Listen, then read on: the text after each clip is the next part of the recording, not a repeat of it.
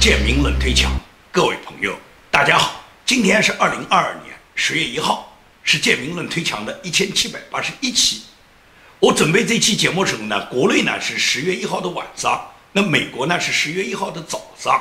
那么中共呢是把这一天当做呢国庆日来对待，那么对于我来讲就叫国丧日。所以说呢，我自从做自媒体以来，我所有的国丧日呢，我一律都是穿黑衫的，因为这一天不是中国人民解放的日子，而是中国人民跪下来的日子，也就是毛泽东从一九四九年十月一号在天安门城楼上宣布说，从此中国人民站起来了。实际上站起来就他一个人，所有人都跪下了，也就是中国人民被共产党奴役已经七十多年。这么七十多年来，可以讲中国人民受尽了无数的人间磨难。那么问题是嘛？七十多年磨难受下来以后，是不是这个怒火已经积压在心头？每一个人都知道这个磨难是来自于共产党。我们只有推翻共产党，只有把共产党这个压在人民头上的这个三座大山搬掉以后，人民才能得到解放呢？那么完全不是这样，海外尤其不是这样，也就是海外很多华人啊，还纷纷在那敲锣打鼓，唱着什么社会主义好，什么祖国好，在纷纷庆祝中共什么二十大，庆祝中共的什么国丧日，也就是海外的华人呢，尤其是福建华人啊，每年都会搞这样的庆典活动。福建很多华人在海外呢，他这个比例是相当大的，在美国的比例更大。也就是海外的福建华人，很多人他们当年都是借了高利贷出来的，很多人都是当做杀猪仔，然后呢借了高利贷被送上了那个偷渡的船只，很多人在还没上那个船时候，身上已经背了十几万美元的债务了。也就是他们被这个蛇头呢，把他们送到美国以后，然后这些人基本上就在美国打黑工，在各个什么黑餐馆啊，或者是黑工厂里面做黑工，因为他们没有身份，他们又不会外语。他们需要通过不断的打工，他们自己奉献的这些工钱来抵充他们当年当猪仔一样卖到美国的那个十几万美元。那么经过一二十年以后，这些人基本上就说债还完了。而还完以后呢，有很多人呢通过什么假证币啦、假结婚啦，就漂白了自己当地的身份。那么漂白了身份，你在美国就好好过就是了。你已经受了那么多苦，几十年被别人盘剥，当年借的高利贷好不容易还清，现在无论你是假结婚也好，假证币也好，真的在美国混到身份，你就好好的在美国安身立命，在美国过一个正经人的日子，享受一点西方的民主自由，也了解你自己曾经中共压在你头上那么多苦难，通过你自己那么多年赎身，好不容易赎出来，你就过个像人一样的生活呢？他们不要，他们马上热爱共产党，他们每天敲锣打鼓，热爱共产党，帮助共产党去站台，在全美各地，你到处看到华人的大小会议啊，大小庆典活动，少不了这些福建人，而且他们在这个里面呢，热闹得很。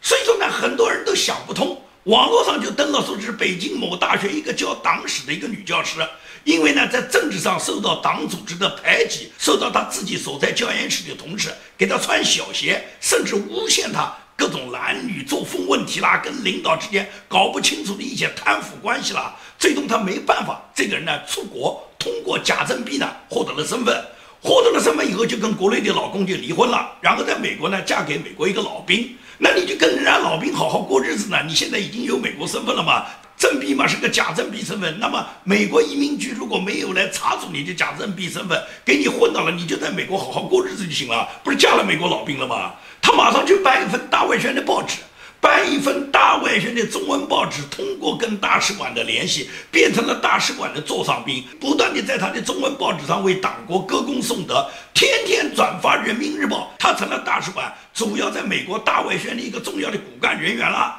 而且每年呢，大使馆给他安排几次公费回国，回国呢又可以跟国内的所谓同行呢去交流他自己在海外如何办华文报纸，如何为党国抬轿子、吹喇叭，如何为党国歌功颂德，说他是一个华人的爱国之心。我简直不知道这些人当年党国打击时候你是哭天喊地啊，他早就忘了无产阶级专政铁拳当时砸向他的那个狗头时候他的那个惨状啊。现在像他这样的斯德哥尔摩综合症，到了海外三天饱饭还没吃上呢，他马上就去歌颂共产党。你觉得这样的华人在海外，他有一点点能代表一个民族的气节吗？说的话，所有海外的华人的脸都是被这些人丢尽了。也就是这些人实际上吃了共产党很大的苦头，但是回过头来他们就报效共产党。这种斯德哥尔摩综合症的人在海外有的是啊。所以说呢，这个国殇日在海外特别热闹，特别庆祝共产党要过什么国庆日的人，都是这一类的人。这一类人往往都是当年被无产阶级专政铁拳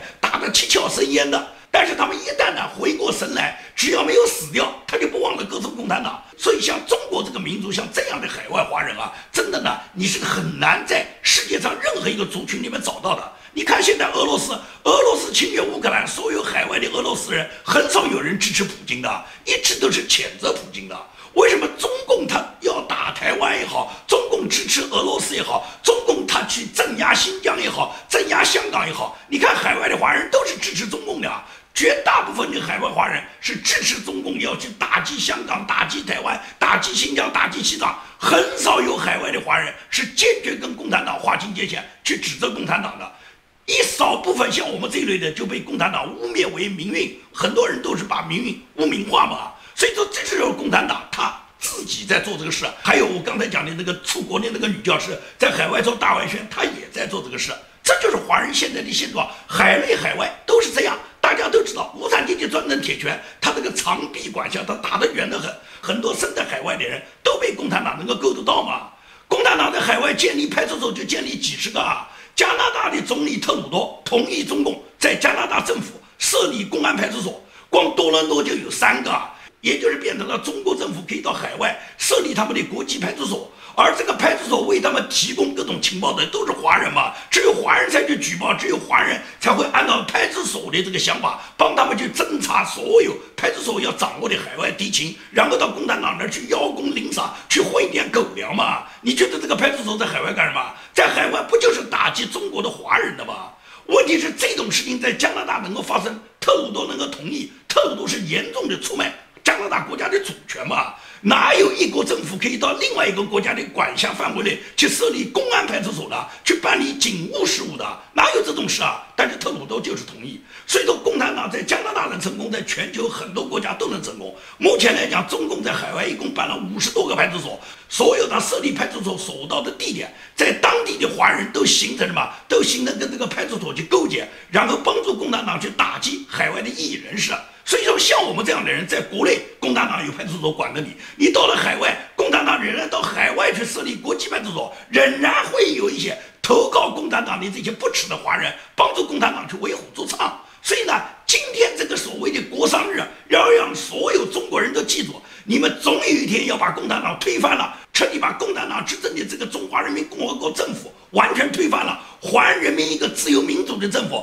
我们没有这个国殇日以后，人民才可以获得自由解放。好，国殇日我就说到这。那么跟大家谈一下乌东局势，也就是乌克兰局势。在这一次，普京策划了乌东四个州，他所谓公投，然后自动倒向俄罗斯以后，那么国际局势又发生了重大变化。也就是整个乌克兰和俄罗斯，他们这个战争呢，现在面临着巨大的升级。因为这乌东四州，它的公投实际上是个假公投，全世界都不承认的。但是普京现在呢，就信誓旦旦把这四个州呢划成了俄罗斯领土，而且他派大量的俄罗斯军人进入这四个州以后，他对国际上宣称他是在保卫自己的国土。他现在对乌克兰的侵略战就变成了是国土保卫战。而在这个时候，他不忘用核武器去威慑全世界，也就是告诉西方国家：你们哪个敢干涉我，就不要忘了，我普京手上是有核武器的，我随时可以通过核武器来保卫我俄罗斯领土，保卫我俄罗斯刚刚公投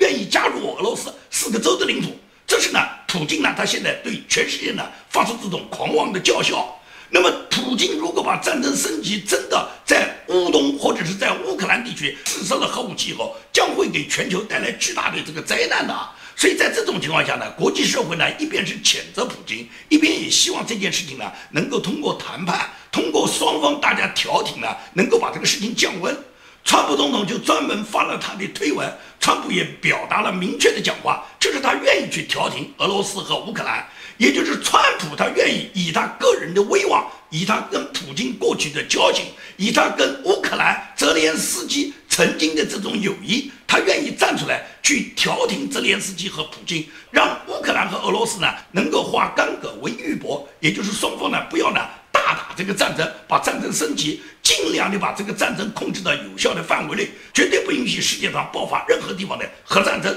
这是川普的想法。问题是，川普是拜登重点打击的人啊，拜登他怎么可能愿意川普作为美国的特使来调停俄罗斯和乌克兰呢？所以说，拜登百分之百是反对的。但是，拜登这种反对是出于拜登个人的私利，出于他民主党的这个偏见，而不是站在国家利益上面。也就是站在国家立场，任何一个有能力、有威望，能够得到乌克兰和俄罗斯双方认可的一个国际政治人物，由他来调停，能够把战争把它由大化小，由战争最后变成和平，这都是了不起的功勋。管他这个人是谁，为什么拜登你要坚决反对呢？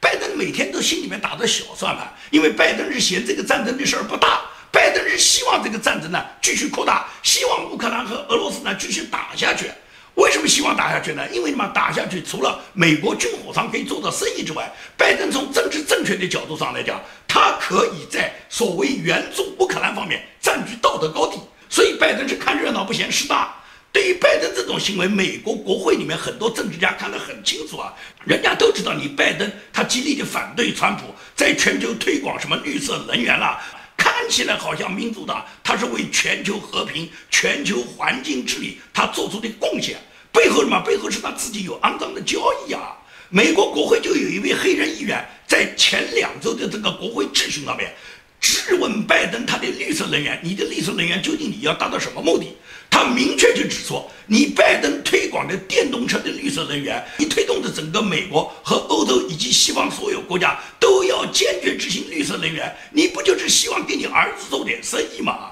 那么这个绿色能源跟他儿子做生意有什么关系呢？也就是这个黑人议员明确揭露了拜登他的儿子亨特拜登在从事的跟绿色能源有关的一个重要的一个钴矿的交易。什么叫钴矿的交易？也就是呢，所有的这个电池，所有的绿色能源啊，它有一个来自重要的一个金属产品叫钴，而钴矿呢，在全球最大的含量呢，都在刚果。刚果的这家钴矿就被中国的一家公司收购了。而中国收购的这家公司是通过亨特拜登牵头的，亨特拜登既是牵头方也是投资方，跟中国一个所谓的国有企业，实际上都是权贵把控的垄断企业，跟他之间有大量的背后的内幕交易，也就是拜登和中国的公司联合收购了当国的钴矿。然后通过这个钴矿所产生的这种金属，向全球的所有的绿色能源提供它的原材料，也就是亨特拜登通过这个交易，不仅仅自己是赚了大量的钱，而且今后的全球所有推广绿色能源、推广电动汽车都有什么都有话语权。这就是亨特拜登在干这个事吗？但是拜登说他不知道，然后这个黑人议员就反唇相讥，就讲了拜登就说：“我有三个儿子，我的儿子有的人跟我十天都没有见过面。”但是三个儿子每天在干什么？我清清楚楚。你作为一个美国现总统、前任的美国副总统，你对你儿子亨特拜登每天在干什么？你不知道？他跟中国这样的交易，你不知道？他们一起收购了刚果这个钴矿，你不知道？这个钴矿是做什么用的？你不知道？为什么你要推行绿色能源？而绿色能源里面，钴是你里面最重要的一个原材料，你拜登真的不知道？The purpose of the HRES is quite simple: to get information. from the president with respect to the business dealings of his son. Now, the president has told us time and time again, frankly, it's a lie, but the president has told us time and time again that he has no idea what his son is actually doing. Now, ladies and gentlemen, we all know that is the dumbest thing we've all heard. I have three sons. I've been away from my sons for 10 days, but trust me, I know exactly what they're doing. It doesn't take me long to pick up a phone and ask or to find out. The president knows what his son is engaged in. What his son is primarily being engaged in is a, is a mineral called cobalt. Let's educate the committee on cobalt. Cobalt is a mineral, a metal that is essential in the manufacturing of electric vehicles. Cobalt is one of the most important components of electric car batteries, solar panels, and other renewable energy sources. A Tesla long range vehicle requires 10 pounds of cobalt, more than 400 times the amount of cobalt needed in a cell phone. Two thirds of the world's cobalt production comes from the Democratic Republic of the Congo. Hunter Biden has been heavily involved in the 2016 sale of a cobalt mine in the Democratic Republic of the Congo to a company that is a Chinese company. He was very involved. The New York Times has reported on his level of involvement. So, do you mean to tell me that Joe Biden, who was then was a former vice president of the United States, then candidate for the presidency of the United States, now president of the United States, had no idea that his son was engaged in the sale of a cobalt mine to a Chinese company at the same time when the centerpiece of Joe Biden's energy policy is electric cars in the United States and more green technology? I mean, come on, folks. That is just crazy. 所以说，这个黑人议员毫不留情的给拜登把他揭露的体无完肤。那么在这种情况下，可以讲美国很多政治家都看得清楚拜登在干什么啊？拜登就装傻，他就说他儿子干什么都不知道。至于乌东战争，这我已经说过了。拜登他是什么？他是看热闹不嫌事大，他就希望这个事情越大越好。而普京呢，他自己本来是想一口气拿下这个乌克兰的，但是这个战争打了半年多以后，根本就没有能力拿下乌克兰。俄军的这个战术水平、战力水平、他的武器水平、他的后勤补给，远远都跟不上普京想吞并乌克兰的这个速度。在这种情况下，可以讲乌军反攻以后，俄军是打的大败。到了这个时候，普京只能心生一计了，也就是最终的目的就是霸占整个乌东四个州啊！现在我们就不跟你打，我们就把这乌东四个州呢，先想方设法呢，把它划到我俄罗斯领土上来。因此，就在昨天九月三十号，莫斯科任命的这个赫尔松州的州长，以及呢扎波罗热州的州长。还有普京本人，以及那个自封为顿涅茨克人民共和国的总统和卢甘斯克人民共和国的总统，就是实际上就是乌东四州的领导人，加上普京，他们一起在莫斯科红场呢举行了一个盛大的欢迎仪式。按照普京讲，就是欢迎这四个州加入俄罗斯领土，欢迎你们回家。而这个四个州，要么是普京任命的傀儡州的，要么就是自封的什么共和国的总统，他们一起欢呼，他们加入了俄罗斯。那么，对于这四周的公投的结果，全世界都不承认的。美国首先就是不承认，美国讲任何时候都不会承认这四个州，他已经从乌克兰独立出去，算是分裂成功，然后最终并入了这个俄罗斯。美国是坚决不承认，永远不会承认。而且，美国和西方七国全部表态，西方七国跟美国的立场是一模一样。永久不会承认这四个州，他们已经所谓宣布公投独立，然后倒向俄罗斯，也就是他们这个公投完全是在俄罗斯士兵机枪和刺刀下完成的。这种公投没有任何公正性和自由性，因此来讲，这种公投全世界都不会承认。只是你普京欢喜，你普京欢喜，你普京承认是你普京承认。问题是你普京还能活几天？普京的这个泡沫早就破灭了。普京当初刚刚当政的时候，他喊出了他自己的豪言壮语。就说给我二十年，还你一个强大的俄罗斯。那么现在普京执政已经不止二十年了，二十二年了。俄罗斯人民没有一天看到一个伟大的曙光啊！整个俄罗斯的经济是极度萧条的，它的 GDP 是非常低的。俄罗斯的 GDP 不抵中国的一个省，不抵广东省，也不抵江苏省，就是它连中国一个省的国民收入水平都达不到。你要那么大领土干什么用呢？而且俄罗斯超低的生育率。基本上是稀稀拉拉的人口，远远不足以覆盖这个世界上面积最大的国家。也就是普京有那么多的领土，根本就没有人口，根本就管理不过来。已经有那么多领土都荒芜了，他还不断的要扩充领土，他陷入什么？他陷入领土大国家就伟大的思想。普京一直是这种大俄罗斯的霸权思想。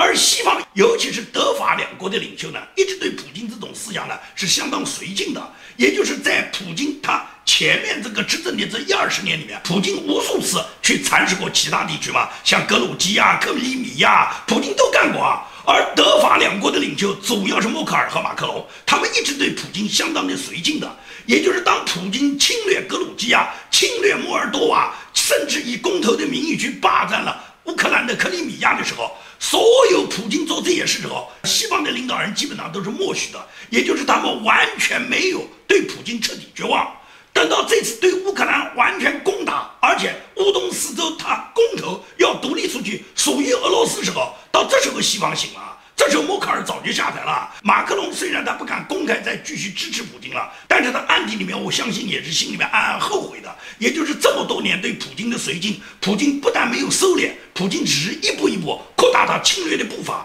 因此来讲的话，普京今年攻打乌克兰才把他的底裤打出来，也就是等到普京进攻，普京认为他肯定能赢时候，结果人们一看。你俄罗斯的军队哪是什么全球第二强大的军队啊？基本上就跟当年德国入侵前苏联时候，当当时的苏联红军的水平一样，武器落后，兵员老化，管理非常差，后勤补给跟不上。也就是当时，如果苏联红军不是美军参战的话，可以讲苏联红军早就溃败了。那时候斯大林那一点本钱已经给希特勒打光，要不是美军参战的话，去拯救欧洲，说不定希特勒就吃掉了整个苏联，就没有在俄罗斯领土上再讲俄语的，都是讲德语了。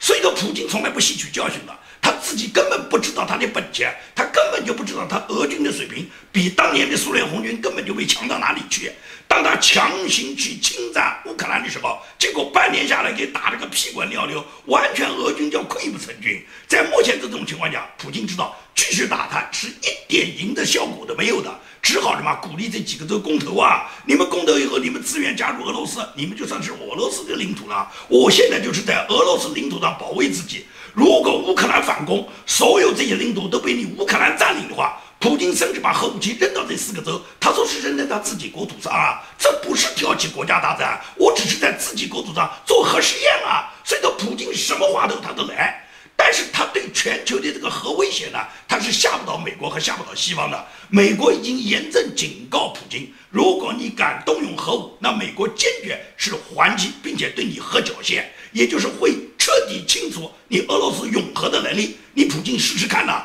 不仅是普京，你自己会像希特勒一样自闭于克里姆林宫，整个俄罗斯从此不会让你再有永和的国家。美国和西方社会一定做得到，而你想跟全世界同归于尽，你没这个机会，你没这个技术。美国一定是有能力控制你普京的核武器。当你的核弹飞出的时候，这个弹头很可能是回头打到你自己的基地，打到你克里姆林宫去。对于乌东四州的公投，全球根本就不承认，没有一个西方国家会承认的。北约以他的秘书长斯托尔滕贝格，他昨天发布的这个新闻发布会上面就明确谴责了，也就是俄罗斯想吞并乌克兰的四个地区的非法行为，北约是绝对不承认的。针对普京威胁要动用核武，北约表示乌克兰完全有权利收复自己的领土，北约支持乌克兰一直到该国解放全部领土为止。俄罗斯如果敢动用核武器，最终的结果就是俄罗斯玩火者自焚，除了所有参与核武器里面所有执行这个命令的所有将士，全部会葬身火海之中，而且俄罗斯将会被国际社会全部剿歼，你不可能再获得你自己拥有的核能力。而在这个过程中呢，联合国安理会也专门在礼拜五呢召开了谴责俄罗斯吞并乌克兰四地提案的表决。中国呢是不敢公开支持这个乌东四州呢，他这个公投的。你敢支持这四国公投，那么台湾也就可以公投，香港也可以公投，西藏、新疆都可以公投。中共是绝对不敢的。但是中共你又不能忘记他要去支持俄罗斯，所以最终中共呢是投了个所谓弃权票。无论你中共你表面做什么动作，全世界都知道你中共跟普京是穿一条裤子的。而乌克兰总统泽连斯基呢，就在九月三十号，也就是普京企图通过公投去霸占乌东四州，他这个阴谋在他自己刚刚开始的时候，那么泽连斯基和他们国家的总理以及他们乌克兰的议长呢，三个人一起签署了乌克兰递交加入北约的这个意见书，他们三个人当场集体签名的，希望呢把乌克兰立即加入北约。而对于乌克兰在火线入党、火线加入北约的这个事情呢，北约秘书长斯特尔滕贝格呢，他举行了发布会。他首先宣布北约谴责俄罗斯吞并乌克兰领土，其次呢，他明确表达北约的立场，就是北约不是冲突一方，我们支持乌克兰，但并不会让我们参与冲突，我们支持主权国家捍卫自己的主权。同时呢，第三条也明确说过，现在不可能马上就接受乌克兰加入北约，因为没有快速通道程序。加入北约有一个漫长的程序，这个程序他必须把整个过程走完。普京在今年侵略这个乌克兰之后，过去对北约加入不加入一直漫不经心的很多欧洲国家呢，他们着急了，像瑞典和芬兰。他们赶紧就申请了，他们希望立即加入北约。那么，在瑞典和芬兰要求加入北约之后呢，那么要需要得到北约所有国家的批准。那么，最终要得到美国的批准了。那么，在今年八月份，美国国会参议院呢就批准了瑞典和芬兰这两个国家都加入北约成员的申请。目前呢，现在还有两个瓶颈，一个就是什么？一个是土耳其，第二个是匈牙利。因为土耳其呢，现在在漫天要价，跟瑞典和芬兰要很高的价钱，满足他们的要求以后呢，他会同意瑞典和芬兰呢加入北约。而匈牙利就不一样了，匈牙利他没有要价的本钱，但匈牙利是站在邪恶的立场上，是站在普京、站在中国的立场上，很可能最终就是瑞典和芬兰加入北约非常不顺呢，就是由于匈牙利在里面作祟，是匈牙利跟普京、跟中共穿一条裤子，帮助中共和普京潜伏在北约里面，在北约里面搞破坏的，匈牙利完全有可能扮演这样的角色。所以从目前来讲，任重而道远，芬兰和瑞典加入北约还没有那么顺。乌克兰要加入北约，显然就不是马上就能做到的了。而且目前来讲，全球都是支持乌克兰，你怎么去战胜俄罗斯？目前把乌克兰马上就纳入北约，把北约一起拖入战场，北约现在坚决不愿意。这也是什么？北约国家，尤其是美国，现在不会随随便便把自己的兵就派进去嘛？这还要看什么？还要看整个力量对比。也就是普京，如果根本他已经意识到他完全失败了。他向国际社会缴械，他从乌克兰全部撤军，把这所谓公投的四周这个闹剧把它结束，普京可能还能活下一条命。如果普京不惜动用核武，那么最终什么？核武不但是埋葬了普京，埋葬了所有俄罗斯进攻的部队，更重要的是解除了俄罗斯所有的这个核威力，也就是从此俄罗斯被解除这个核拥有国家以后，那么世界的太平要减掉一半，剩下的最后一个就对付中共就行了。拿掉了俄罗斯，中共孤掌难鸣，也就是把俄罗斯消灭在先，中共消灭在后。好，今天的节目我就跟大家说到这里，谢谢大家。